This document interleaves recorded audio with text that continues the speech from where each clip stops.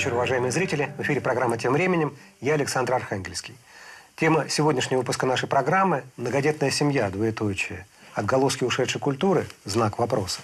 Но прежде чем мы начнем дискуссию с моими собеседниками, давайте вместе с ними посмотрим сюжет. В 20 веке семья стремительно меняется. Отдельные квартиры, эмансипация женщин, развитие медицины, поздние браки. В результате нормой в современном обществе становятся семьи с одним-двумя детьми, где оба родителя работают, чтобы обеспечить им счастливое детство и хорошее образование. Социологи из Левада-центра выяснили, что в идеальной семье по представлениям 50% россиян должно быть двое детей – 6% хватило бы и одного ребенка, и только 5% мечтают о том, чтобы детей было больше пяти. Но религиозные традиции часто требуют от своих адептов сохранения модели патриархальной семьи. Считается, что супруги должны или рожать, сколько Бог даст, или воздерживаться от интимных отношений. В некоторых православных приходах осуждают тех, кто решается на самостоятельное планирование семьи. В еврейских и мусульманских общинах детей воспринимают как Божье благословение, и чем их больше, тем лучше. На православных ресурсах вспыхивают споры о том, что является целью христианского брака – рождение детей или прежде всего взаимная любовь мужа и жены. Насколько сильна религиозная мотивация при планировании сегодняшней семьи? Действительно ли вера подразумевает императив «воздерживайся» или «рожай»? Или это просто попытки воспроизводить традицию в меняющемся мире? Совместима ли сегодняшняя медицина с задачами расширенного семейного воспроизводства? В чем выражается семейная любовь, если не в количестве детей? Об этом размышляют гости в студии программы «Тем временем». С удовольствием представляю моих собеседников. Алиса Ганиева, писатель. Здравствуйте, Алиса. Здравствуйте. Протеерей Георгий Митрофанов, историк, публицист, профессор Санкт-Петербургской духовной академии. Здравствуйте, отец Георгий. Здравствуйте. Анатолий Григорьевич Вишневский, профессор, директор Института демографии Высшей школы экономики. Добрый вечер. Добрый вечер. Дмитрий Александрович Емец, писатель и многодетный отец. Здравствуйте. Здравствуйте. Борох Ионович Горин, председатель правления Еврейского музея Центра толерантности и тоже многодетный. Здравствуйте. Здравствуйте. Э, Олеся Александровна Николаева, поэт. Здравствуйте, Олеся. Здравствуйте. Может быть, Анатолий Григорьевич, вам. Э, В последнее время часто были разного рода дискуссии про многодетность, э, но в основном в кругах верующих людей. А в мире, где мы живем, многодетная семья – это реальность или скорее исключение из правил? Многодетная семья – это исключение из правила. И так было всегда. Вот что э, важно подчеркнуть, потому что у вас там прозвучали слова об отголосках ушедшей культуры. Дело в том, что очень часто путают, э, если можно так сказать, многорождаемость, хотя рожали много действительно, но выживало значительно меньше, и поэтому многодетными были только те семьи, которым повезло и у которых выжило большое число детей, такие бывали, но так как это была случайность, вообще игра случайности, вот у кого умирал, у кого не умирал, то распределение всегда было таким, что э, многодетных семей было немного. Это был несознательный выбор, что кто-то хотел многодетность, а кто-то не хотел. А так получалось. Вот такова была ситуация раньше. А теперь э, по другим причинам, потому что сейчас действительно элемент добровольности очень большой, но примерно расклад такой же, что имеется какое-то количество многодетных семей. С точки зрения демографии, самое, как бы, если мы хотим немножко повысить рождаемость, расчет должен быть на двух- и трехдетных семьи. Вот их должно быть больше. А многодетные семьи, ну, очень хорошо, но демографического значения это не имеет. Это имеет значение где-нибудь в Африке сейчас, когда много многодетных, потому что смертность тоже снизилась, а рождаемость еще остается высокой. Но как раз там это плохо. Вообще вот надо сказать, что если смотреть на историю человечества всего, поскольку население мира росло очень медленно на протяжении всех тысячелетий, за исключением от последнего столетия, когда произошел этот демографический взрыв, то, в общем, это означает, вот медленный рост, почти не было его, что в среднем на э, смену двум родителям приходило двое детей. Ну, с какими-то колебаниями небольшими, но, в общем, это как бы такой золотой стандарт. Но это получалось вот в результате того, что какая-то часть была многодетными, а кто был, кто-то был и бездетным и так далее. Было такое распределение. Спасибо. Олесь, э, правильно ли я понимаю, что э, идеал православной семьи – это семья многодетная? Или это вообще никак... Есть такая живая традиция бытовая э, очень важное, но не имеющее Да, религиозной но я не думаю, что это такой идеал. Это просто как получится. Я, например, знаю очень много многодетных семей, э, ну, православных, которые замечательные. Совершенно там царит э, любовь вообще. Это, э, дети очень талантливые, очень красивые. При этом я очень дружу с семьей, где мать которая родила девятерых детей, она инвалид. Она э, переболела в детстве полиэмилитом. И у нее одна рука даже плохо работает. Вот. Но, тем не менее, а дети получились совершенно какие-то один к одному. Просто один лучше другого. Но так, чтобы это какая-то была сугубая цель или какой-то сугубый идеал, вот я такого не встречала. Ну, тут, конечно, очень много есть всяких э, проблем на разных уровнях. Это вопрос и мистический, и религи- религиозный, так сказать, это один уровень. Это вопрос экзистенциальный, потому что он касается именно вот этой семьи и этих двух людей, родителей, которые... Это вопрос социальный, это вопрос государственный, и это вопрос цивилизационный. Это вопрос о вообще дальнейшем существовании вот нашей цивилизации. Вот, вот то, что называется иудео-христианская цивилизация, потому что осталось всего 13% белого населения в мире. И к 50 вот наш специалист, демограф, э, может быть, уточнит эти цифры, вообще, что нас ждет э, к 50 году. Вот. Насколько умножится э, население, ну так скажем, не, не, не белой расы, вот, э, по сравнению с, вот, с людьми из нашей цивилизации. Ну, Поэтому нам с вами, как христианам, какая разница, какого цвета кожи будут? Тем не менее, все равно этот вопрос остается. Хорошо, мы к нему обязательно вернемся, потому Конечно, что он да. очень важный. Да, я А, вам отвечу потом. Ну, тогда, если очень есть, можете прямо сейчас ответить, потом мы к Буруху. Могу прямо сейчас сказать. Конечно, вы совершенно правы, что соотношение меняется. Но оно меняется не потому, что у нас мало, а потому что там стремительный рост, небывалый, совершенно никогда в истории. Есть и преувеличенная такая реакция, потому что я согласен с вами, что дело не в цвете, э, не в цвете кожи, а дело в культуре, дело в языке и так далее, понимаете? Э, И вот об этом надо думать. Но Олеся обязательно возразит или, или согласится, это какая она решит. Борг, есть ли какая-то установка, а, прописанная, проговоренная в иудейской традиции, или это личный выбор каждого? Есть библейская заповедь «Плодитесь и размножайтесь», которую талмудическое законодательство э, трактует как обязанность каждого человека завести двух детей, мальчика и девочку. Идеал, который то есть воспроизведение, о котором э, мы здесь говорили. Но в силу разных исторических причин постепенно традиционная ортодоксальная среда э, стала более чем, э, э, я бы сказал, доброжелательно относиться к многодетности. То есть современная ультраортодоксальная среда практически м, в случаях отсутствия угрозы для жизни, а это связано опять-таки с развитием медицины, в общем, не рекомендует или, по крайней мере, традиционно не принято э, э, управлять рождаемостью. Однако это, конечно, э, фраза. Потому что в реальности контрацепция разрешена, разумеется, определенные ее, ее виды, и управление рождаемостью разрешено. Скажем, если мы говорим о законодательном запрете, то законодательный запрет имеется- и на рождение детей в случае угрозы для жизни матери. Например, э, в таком случае даже аборт э, не то что разрешен, а предписан, если э, рождение может убить мать. Тогда у этого плода есть закон преследователя «убей его первым». Вот такая жестокая норма, касающаяся жизни существующего человека. Кроме того, есть э, запрет рожда- рожать детей во время войн и голода.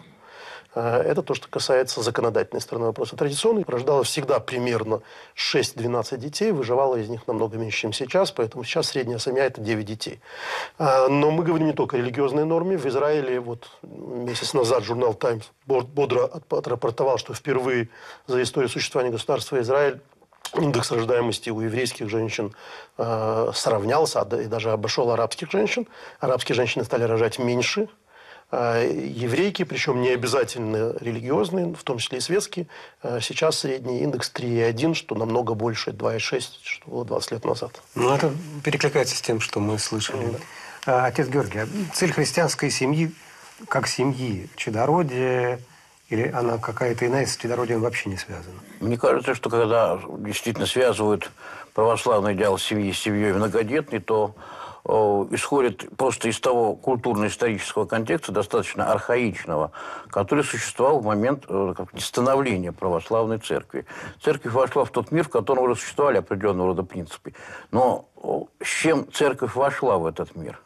С высоким представлением, прежде всего, о личности человека. И, конечно, любой брак, союз двоих, это прежде всего самодостаточный союз. Дети могут быть, а могут и не быть. Христианский брак от этого не перестает быть, э, ну, собственно, средоточием церковного. Собственно говоря, семья, состоящая из мужа и жены, это уже малая церковь. Здесь полнота церковной жизни присутствует Где двое или трое детей. собрались во имя мое, там... Двое. Вот в данном случае, если сначала двое, потом может подойти и третий, родиться.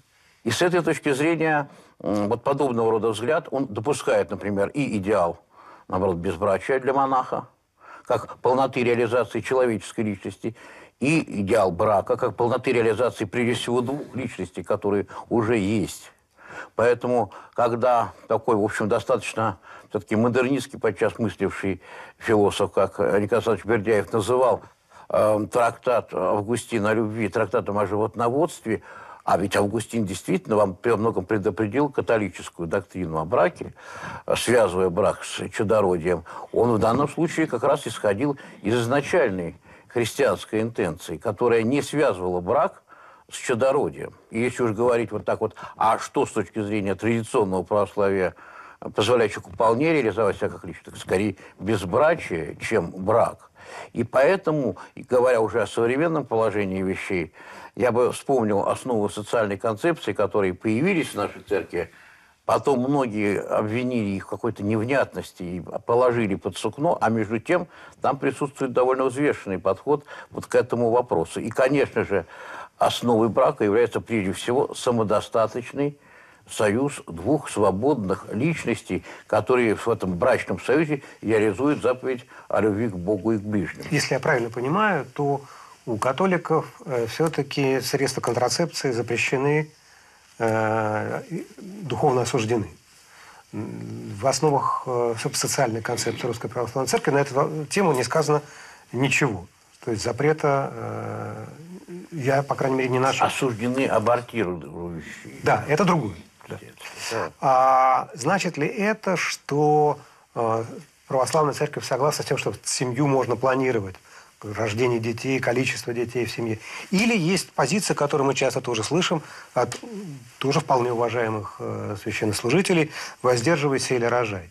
Вот этот термин «планирование семьи», вот этого термина и у церковных, и нецерковных людей в нашей стране уже возникает какая-то идиосинкразия. Что это такое планирование? И тут. И хочется от этого слова отторгнуться сразу. А на самом деле, вы понимаете, это вопрос сугубо индивидуальный и конкретный. Даже употребление неабортированных, то есть в принципе допустимых противозачаточных средств, возможно, опять-таки, при определенного рода обстоятельствах.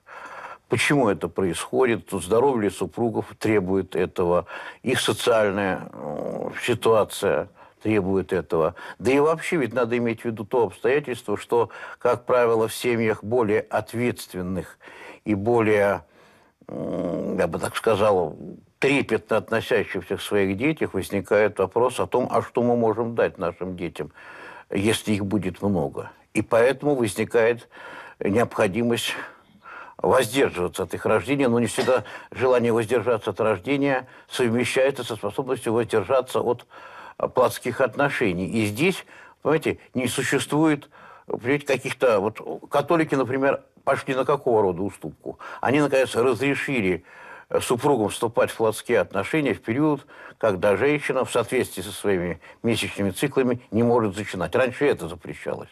Теперь это, наконец, разрешено. И все. Выглядит это довольно ущербно, от этого отдает закомплексованностью целебатного католического духовенства вот в этом вопросе.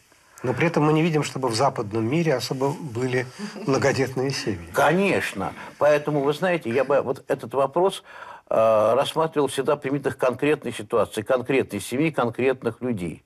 Важно другое, что в основах нашей социальной концепции в принципе не отрицается возможность э, неабортивных противозачаточных средств, а значит не отрицается в принципе возможность планирования семьи, если уж вам нравится этот жуткий термин. Мне ничего не нравится, я Вы использую то, что э, используется. Дмитрий, ну вот у вас, вы когда создавали семью, вы сразу решили, что у вас будет очень много детей, и были ли вы готовы к тем трудностям, с которыми вы столкнулись? Ну, у нас семеро детей сейчас. А, Когда я создавал семью, я почему-то был уверен, что я буду одиноким папой, у меня будет девочка по имени Наташенька. Я пропускал все промежуточные стадии, просто меня воспитала бабушка, ну и мама тоже, но бабушка в, в основном. Ее звали Наташа. И она как раз умерла за несколько дней до моего 18-летия. Я вот ну, чувствовал себя необходимым, чтобы у меня была девочка Наташенька. А родился мальчик Ваня. А потом родилась девочка Наташенька, а потом, потом я понял, что мне нравится быть многодетным отцом, и мне нравятся дети. И мне нравится сам процесс появления, когда ты держишь в руках маленького ребенка, которому несколько дней. Это совершенно особое ощущение. Вот держишь его на руке, он по размеру ладони, вот здесь где-то ножки, здесь попа и вот здесь голова. это, это очень здорово. Это большое удовольствие. И мне даже приходилось э, убеждать жену. э, Очень сложный переход от двух детей к трем. А- От третьего к четвертому обычно нет уже никаких споров. От четвертого к пятому это уже семья принимает эти ценности, это становится общей программой. У меня есть э, серия «Моя большая семья». Это история многодетной семьи, бунт пупсиков, день карапузов. Это э, абсолютно правдивые реалистические истории жизни многодетной семьи. Они очень реалистичные и на основе автобиографии написаны. Потом я вас спрошу, пожалели вы об этом решении хоть раз в жизни или нет. Алис, ну вот вы по праву, вы человек русской культуры, но при этом одновременно вы связаны и с э, другими культурами, где чудородие уж точно не только бытовая, но и, ну и во многом религиозная традиция. Я не знаю, каковы правила, но, но по факту так. При этом вы себя называете иногда стихийной феминисткой. Э, Как вы выстраиваете отношения со своей глубинной культурой? Я не вижу здесь никакого противоречия. Если говорить конкретно об этносе, чьей представительницей я являюсь, это аварцы. И сейчас численность аварцев 700 тысяч человек. Это гораздо больше, по-моему, раза в три больше, чем 100 лет назад. То есть численность народа выросла. Э, Многодетность – это нормальная вещь, норма 3-4 ребенка, даже больше в семье. А, Но при этом э, гораздо меньше людей говорят на аварском языке, гораздо меньше носителей именно культуры и традиций. В этом смысле мне кажется, что аварцы вымирают, хотя их количество растет. И э, мне показалось характерным то, что сказал Дмитрий. Гораздо легче и гораздо приятнее быть многодетным отцом, чем многодетной матерью. И вот это вот э, стремление навязать женщине многодетность, оно идет как раз от, от мужского общества, от любой, э, от всех догм, от любой идеологии, которую представляет в первую очередь мужчины. И мне э, сегодня приятно слышать, что э, в христианстве, в в иудаизме произошла эта реформация сознания, и, и уже нет вот этих прямых запретов, эм, э, запретов на, на предохранение. А, Но, тем не менее, женщина вкладывает гораздо больше в деторождение, даже на клеточном уровне. Яйцеклеток меньше, она, а яйцеклетка дороже, а, чем мужское, мужская половая клетка. И вынашивание очень изматывает, кормление. Я, например, не представляю, чтобы я... э, На данном этапе у меня нет детей, но я бы хотела их завести в будущем. Но я, я реалистично рассчитываю свои силы, я понимаю, что я не способна эм, выносить 8, 9, 10 детей, дать им качественное образование и так далее. Если мы начнем размножаться бесконтрольно, то скоро мы исчерпаем все запасы пресной воды, все за- запасы питания, скоро мы начнем стоять друг у друга на головах, а количество болезней будет только увеличиваться. И вот э, церковь, э, и не только церковь, вообще многие религии говорят о том, что вот они отделяют человека от животного мира, что религия несет э, нек- некоторые цивилизационные рамки, которые нас отделяют от, от вот этой бесконтрольной стихийной эволюции и вот всего хаотичного. Но на самом деле контрацепция это и есть признак цивилизации. Но у Господа Бога есть замысел о каждом человеке. И сам человек не знает, на что он способен, и что он может сделать сам, а что он может сделать с помощью Божьей. Поэтому, Алиса, дорогая, я тоже, когда мне было 18 или 19 лет, если бы мне сказали, что у меня будет э, трое детей и что у меня будет восемь внуков, в терминологии Дмитрия я бы много. просто бы я бы показала бы этому человеку вот так, потому что это было совершенно невозможно себе э, вообразить, как это я у меня будет вот. И поэтому вы сами не знаете, э, к чему вы предназначены. Может, это и есть ваше истинное предназначение, что вы, у вас будут совершенно прекрасные, красивые, изумительные дети. Ваша душа увеличится в объеме, потому что в ней будет так много любви. Вот я слышала в некоторых дискуссиях, говорят, что мы не будем рожать много детей, потому что это будет отнимать э, любовь, нашу любовь вот к этому одному ребенку. А потом второй ребенок рождается. И вдруг откуда-то э, э, эта любовь только прибывает. И на самом деле вот эта многодетная семья – это царство любви, получается. Олеся Потому Александровна. Что, э, и знаете что, вот я сейчас только скажу вот одно. Меня совершенно потрясло, что это моя подруга, у которой 9 детей, она мне один раз сказала совершенно сакраментальную фразу, которая меня совершенно потрясла. Она мне сказала, знаешь что, мне вот иногда кажется, вот когда у меня уже 9 детей, мне уже начинает казаться, что вообще вот все дети, которых я вижу, это они в какой-то степени тоже мои дети. Они тоже мои. Я тоже как-то отчасти стала это э, стала это чувствовать, что это мои дети, а совсем маленькие дети – это мои внуки. Они такие же, как мои внуки, они тоже мои. Проблема в чем, Алиса? Я скажу в чем. Это социальная проблема. Социальная проблема в том, что э, я очень часто слышала вот эти такие вот отри- от- отвратительные высказывания, что вот бедная семья, вот а зачем плодить нищету? И вот, значит, женщина, она с каждыми, с каждыми родами, она все вянет и вянет. И вот они такие бедные, и дети у них каких-то ходят обносках, и едят какие-то э, вообще невкусную еду. А на самом деле, на самом деле, эти дети бедные, ну так они тоже, они заслуживают того, чтобы им бездетные какие-то люди помогали, потому что это их тоже, их тоже дети. Спасибо. Алиса? Понимаете? Просто Последний. одно дело, Олеся Александровна, три ребенка, это замечательно. Другое роди- дело рожать каждый год или каждые два года. То есть естественный животный цикл рождения. Если посмотреть на какие-нибудь деревенские сельские семьи, где по 10, по 15 детей, отношение к детям, к детской смертности более легкое, что ли. Бог дал, Бог взял. э, Вот. Дети играют в прятки, запирают друг э, себя в Вот. сундук э, и э, задыхаются, а родители, ну что ж, пожимают плечами, рожают новых. Это все-таки такое Алис- отношение к детям, оно себя изжило. Алиса, дорогая, ну вот вы именно сказали, Бог дал, Бог взял. Вот именно все равно вам больше, чем вам причитается свыше, вы все равно не, не родите этих детей. Ну вот какой-то предел уже от- откуда-то поставлен. Кому вообще ничего, полно бездетных женщин, да? А кому много? Ну это, вот я и говорю, что это какой-то, все это коренится в замысле Божьем от человека. От, от сексистского большинства прошу, включитесь, пожалуйста. Вот, знаете, я, во-первых, хотел бы вступиться за мужчин. У меня, у меня шесть детей, я не был инициатором рождения шестерых детей. А, И мне в голову не пришло бы жене говорить «рожай». Именно потому, что я прекрасно понимаю, находясь возле нее, что это такое. Вынашивать ребенка, выкармливать ребенка, растить ребенка. А В нашем случае, вот мне очень близки рассуждения Наташеньки, потому что у меня первые три дочери, а жене очень хотелось назвать мужским именем кого-то. Другие скажут, она хотела мальчика по каким-то фрейдистским причинам. Я не могу этого э, сказать. И насчет недостатка любви, дефицита любви.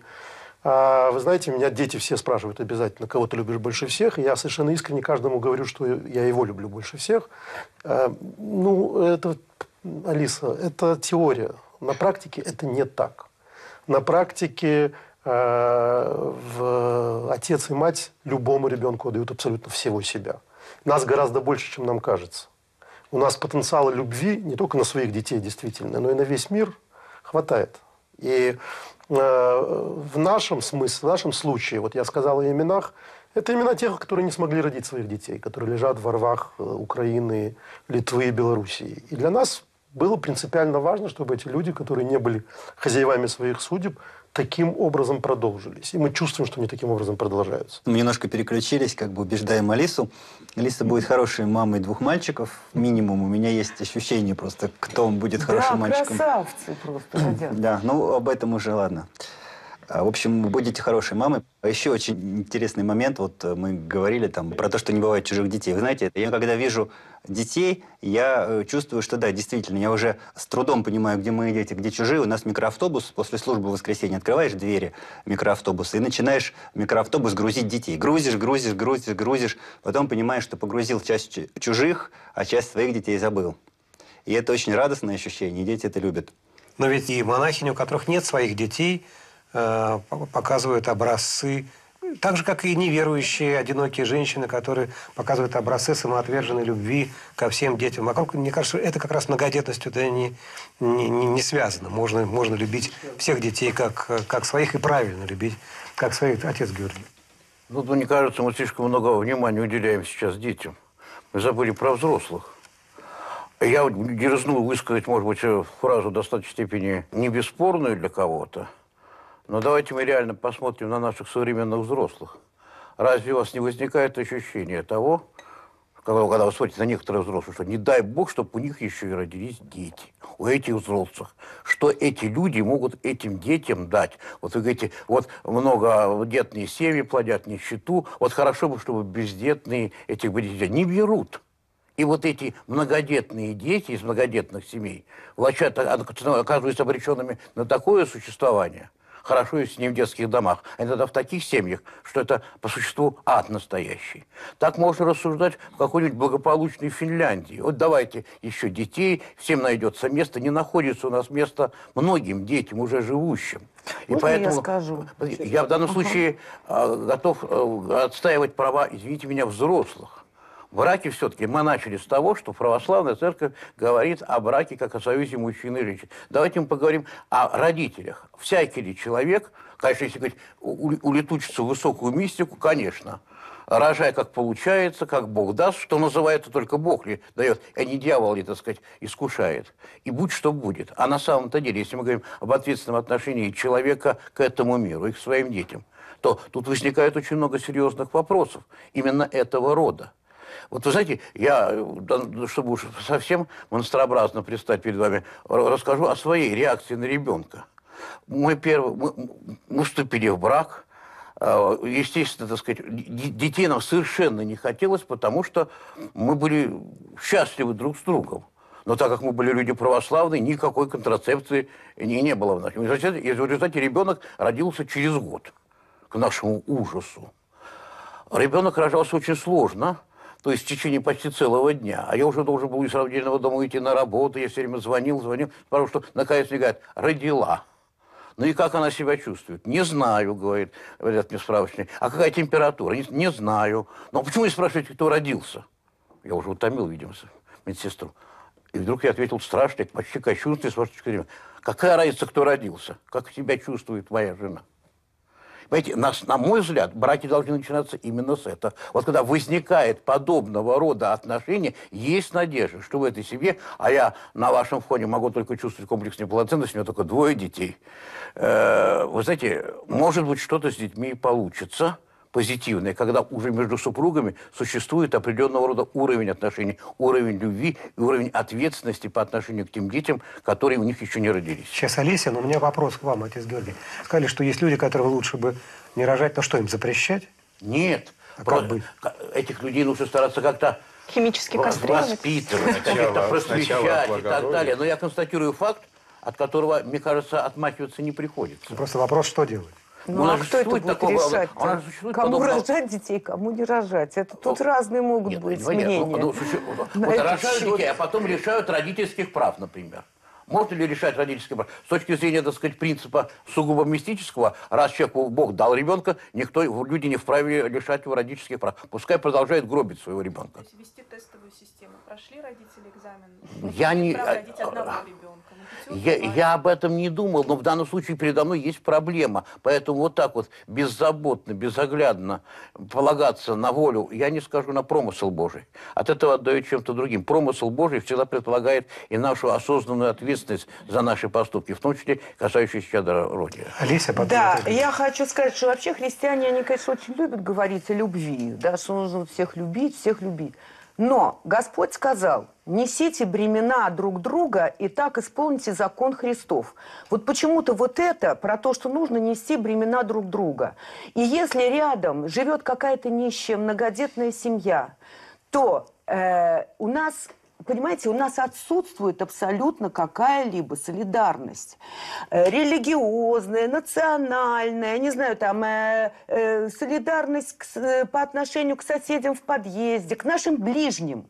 И поэтому, конечно, это огромный позор для русского народа, что у нас такое количество детских домов, что у нас до сих пор живут дети-сироты, и у нас такое количество э, вот, э, ну, Брошенных детей? брошенных детей. Да, это позор, и это будет по нам ударять. Вот, мы разрушаемся изнутри именно в этой точке.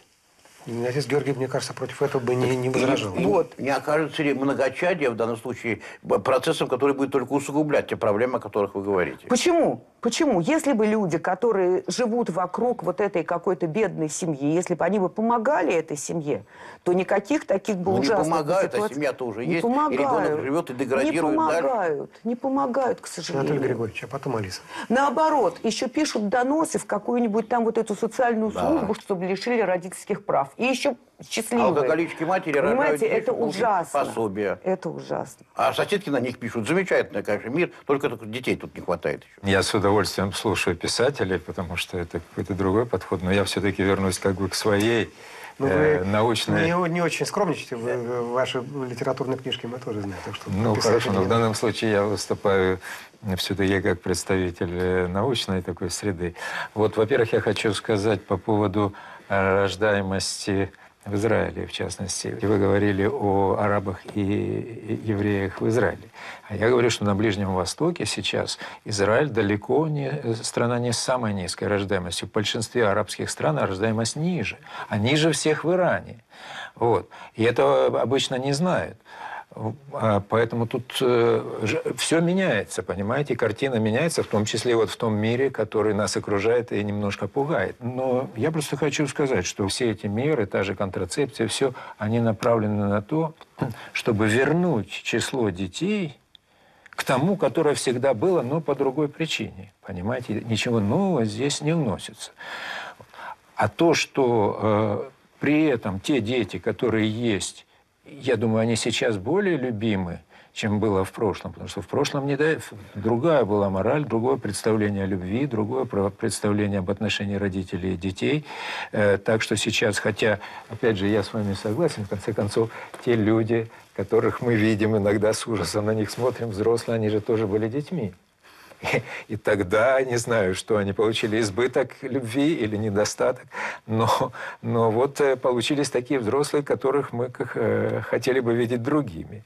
Я, с одной стороны, согласна с тем, что говорил отец Георгий. Конечно, планирование семьи нужно, и в этом смысле, да, у нас э, дробятся семейные ячейки. С другой стороны, именно планирование семьи тоже может дойти до радикальной крайности. В частности, на том же Кавказе, так же, как и в Китае, часто м- молодая пара идет на УЗИ, если э, видят, что плод э, девочка, а не мальчик, делается аборт, чтобы увеличить количество мальчиков в семье.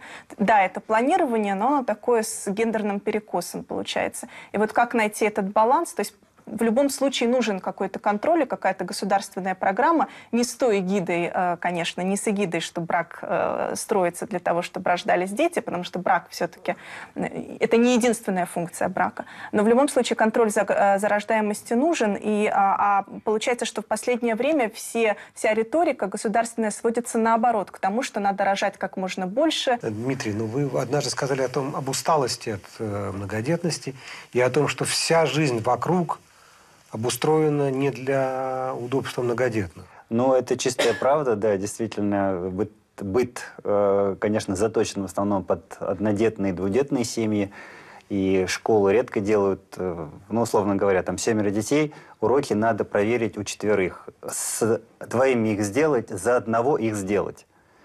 А, ну, то есть, как бы степень нагрузки большая. На родительские собрания у меня есть уже фокусы, когда нужно приходить. Нужно ставить будильник. Допустим, родительское собрание начинается в 5, заканчивается в 6. Надо прийти без 15 6, чтобы сдать деньги. Если ты денег не сдал, то, ну, как бы нехорошо будет. А лучше прийти без 15 6 и поставить себе будильник. А, будто бы тебе кто-то позвонил. Тогда быстро выскакиваешь, платишь деньги, и все тобой довольны. А, ты все улыбаешься, все хорошо. Потому что на последних 15 минутах мамы обычно ругаются, кто не сдал за тетради, это все затягивается бесконечно, и зная эти моменты, э, ты стараешься их избежать. Еще э, какой очень важный момент есть. Есть такая единица измерения, называется внемомы. Я ее сам придумал. Э, сколько любви нужно вдохнуть в каждого человека, э, чтобы это был радостный, веселый, счастливый ребенок.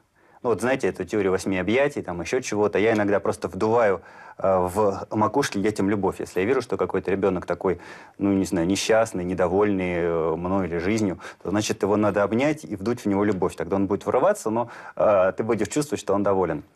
И поэтому самое сложное в многодетной семье каждого ребенку дать ту долю внимания, которая э, он заслуживает. Есть очень хороший священник, э, америк, ну, в общем, православный американец, он уже, по-моему, умер, Диль, ну, в общем, не помню. У него была такая система, пятеро детей, и он ездил на приходы. От прихода до прихода было около двух тысяч километров.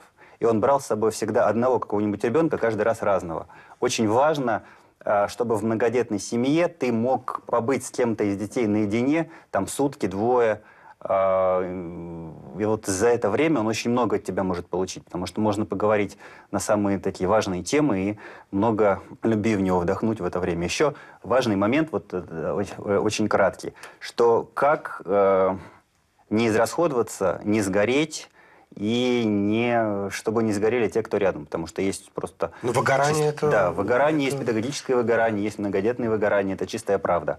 А, если кто-то бегает по потолкам, это родители трех-четырех детей. Мы видим, что это просто огромный выброс энергии идет. То есть вот человек просто в фокусе любви, в фокусе силы. Потом любви становится немножко меньше, усталости немножко больше, после четырех детей ближе к пяти. Но ты уже знаешь, э, чего нужно остерегаться. Очень важно – чтобы отец любил мать больше детей. Очень важно, чтобы мать любила отца больше детей. Это главное фокусное. То есть, когда они вместе, когда нет в семье а ссор... Георгий говорил. Когда нет в семье ссор, когда родители, э, э, когда дети видят, что родители любят друг друга, а, они в этой любви греются. Как вы решаете проблему распределения внимания между Ну, мне кажется, очень многое, вот то, что я сегодня слышу и вообще слышу, Э, зависит от э, общественного отношения вокруг, потому что ну, мы э, очень интегрированы в общину. Поэтому моя шестидетная семья – это небольшая семья. Мы почти малодетные родители. А, соответственно, школы состоят из тоже детей из многодетных семей.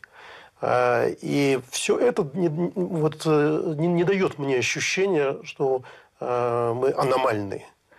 А, я не знаю ничего могу сказать о себе, это опять будет мужской гендерный шовинизм, ничего о выгорании родительском я не знаю. Э, что бы у меня не было, я обязательно прихожу домой, чтобы провести два часа с детьми, потому что мне в кайф. Мне очень нравится быть со своими детьми. Меня это заряжает, я прихожу очень уставший, через полчаса я себя чувствую новым человеком. Э, вот э, ничего не знаю о православном американце, я обязательно практикую эту историю провести с неделю э, с каждым ребенком только с ним, чтобы он знал, что он единственный. Что же касается отношений и насколько детям все это комфортно и хорошо, мне кажется, что мы занимаемся подменой понятий. Мы говорим о том, что надо заботиться о ближнем, о жене, о муже. А на самом деле мы думаем о себе – нам кажется, что комфортно, когда ты никому ничего не должен. Э, я абсолютно убежден, что миссия человека – это быть должным.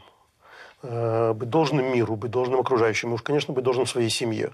И мне кажется, что человек этим компенсируется. Я нужен. Я привел в мир эти шесть душ. Я несу ответственность за то, чтобы они выросли достойными людьми. Я должен им дать образование. И, значит, я не могу упасть, я не могу сломаться. И поэтому я себя ощущаю абсолютно счастливым человеком, абсолютно счастливым отцом. И э, не надо меня жалеть и не надо мне сочувствовать. Мне Мы совершенно прекрасно. Мы за вас радуемся. Да, Лиз, я еще хочу сказать, И что попутно, значит, помимо отношений с родителями у детей, они же еще друг с другом какие-то выстраивают отношения. И вот э, это совершенно э, потрясающе. Вот, например, мои дети, они ужасно, они очень дружат. И они сейчас уже взрослые, они сами уже стали родителями, но они вообще близкие друзья. И они, они между собой друзья, они мои тоже друзья. И я себе не могу представить вообще, что было бы, если бы вот я э, вот эту жизнь как-то бы прожила бы без них. Конечно, бы хотелось, чтобы еще больше этого было бы, чтобы вот эти вот связи, которые, чтобы мы понимали, что нас между собой связывает, да, чтобы мы себя чувствовали как, э, ну, э, как какой-то единый, единый народ, да, э, что мы, что мы родственники действительно, да. Э, Алиса, и поэтому это очень вас- важно для человека. Перебиваю, просто у нас Да. время потихонечку э, выходит. А Возможно ли э, и нужно ли э, мечтать о том, чтобы многодетная семья стала не исключением, а нормой? Если говорить, допустим, о помощи семьям, о роли социального государства, то позиция и, и помощь, и политика должны быть такими, чтобы каждая семья и каждая женщина могла иметь столько детей, сколько она считает нужным по тем или иным. Я думаю, что все-таки будет э, в лучшем случае это концентрация на двух-трех Ну, детях. мне кажется, мне кажется, если многодетная семья станет нормой, то мы придем к катастрофе. Нас уже 7 миллиардов, то нам просто некуда, негде будет жить, мы не сможем поделить все земные ресурсы. И поэтому ключевое, реше- э, ключевое слово – это решение и планирование. Нужно, чтобы каждый человек, не обязательно семья, потому что мы в основном говорили о детях в рамках семьи, но ведь у нас многие, много одиноких женщин в стране, и много казанов, которые после каждой командировки в каждом городе оставляют по ребенку, их тоже можно считать многодетными отцами. Чтобы эта многодетность тоже планировалась и тоже никак, с одной стороны, не воспрещалась и не порицалась обществом, э, потому что часто к внебрачным и незаконорожденным детям такое отношение отрицательное. А, Но, с другой стороны, чтобы женщин не заставляли, не побуждали рожать сверх нормы, потому что у каждого есть свой физический предел. Поэтому ра- рацио тут э, главное. Отец Георгий. Если будут полноценные супруги, люди способны быть полноценными супругами, тогда и многодетная семья будет вполне уместна, и однодетная будет вполне уместна. Но самое главное э, – сформировать у взрослых людей способность, потребность э, созидать полноценную семью.